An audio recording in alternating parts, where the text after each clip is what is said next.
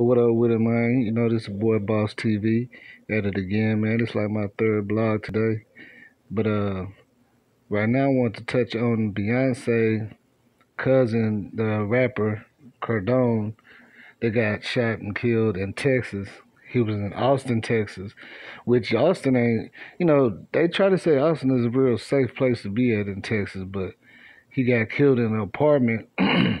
he was uh he was messing with uh this lady right here that's supposed to be uh like an artist or whatever. They're gonna tell you her name, and they're they're saying that she is the suspect. She's only 21, and it just make you wonder, like, damn, what what would make you want to throw your way your life away like that at 21?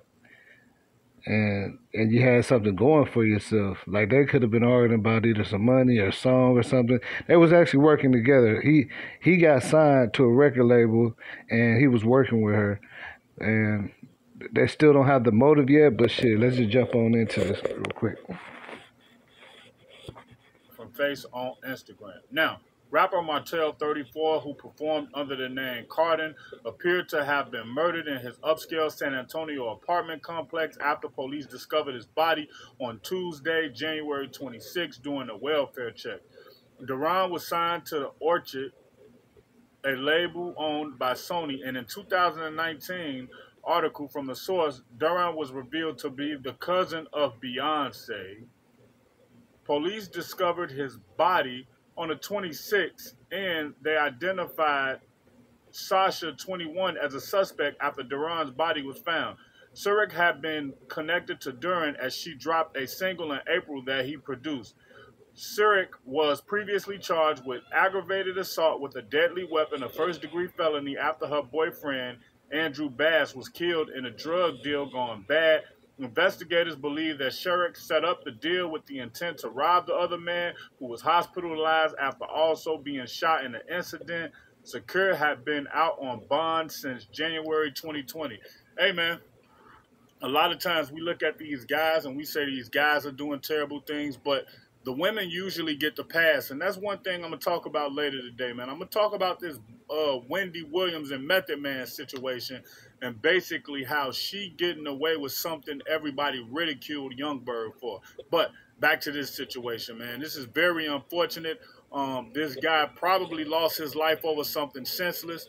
He was dealing with somebody who we can tell is very emotional, um, that make irrational decisions, and I'm sure it was probably a disagreement, maybe about how much she owed him or about a record that she wanted, and it turned deadly. And man, rest in peace to this young man. You know, um, man, I just want to say, man, you know that that should be happening all the time, man. Like these women, they flipping out more than niggas. They might as well just be the soldiers and shit, cause they, I mean, they this shit happening a lot, man. A lot of times you can't even trust them. Like you gonna have to be strapped up. You want to meet meet up with somebody on some business or something like that, man. These girls, man, they going crazy on this shit. Don't make no sense, man. 34 is a young age to be murdered. Any age is a young age to be murdered. You never want to go out like that. But, you know, her throwing away her life at 21 like this when she had the chance to work with somebody who was so accomplished already on a label. Sometimes people don't look at the beauty and the opportunities they have, and sometimes they become so entitled. That's why you have to make people work for their own things.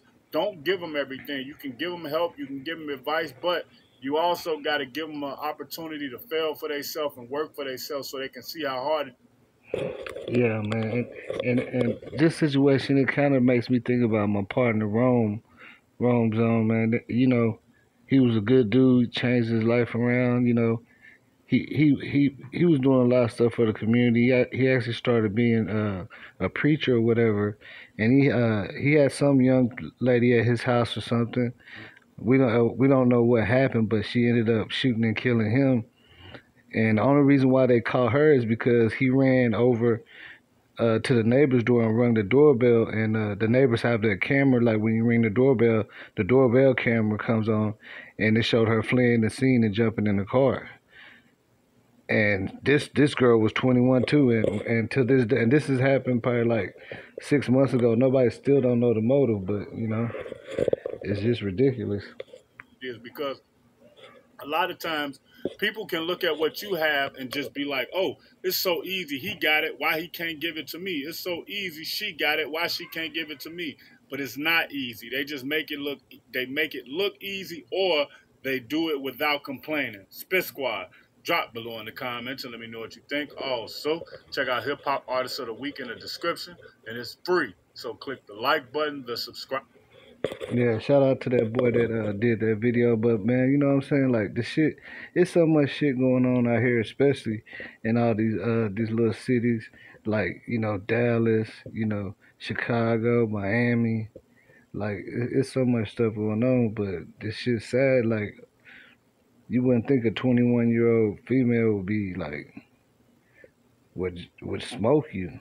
You know what I'm saying? Basically smoke your ass, man, for for little nothing. You know, I mean, if it was another dude that he was around that felt threatened by, he'd probably be more on his P's and Q's. But, you know, he with a young 21 year old girl, he ain't thinking that she might have that little strap in the back and, and get to arguing.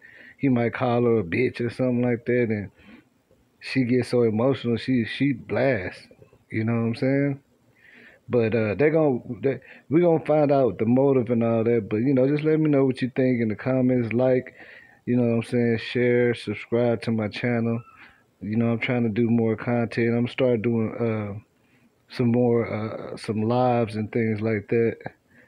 Uh, my subscribers are starting to go up. I appreciate all y'all. So, man, just stay tuned, man. This is Boss TV, and I'm out of here.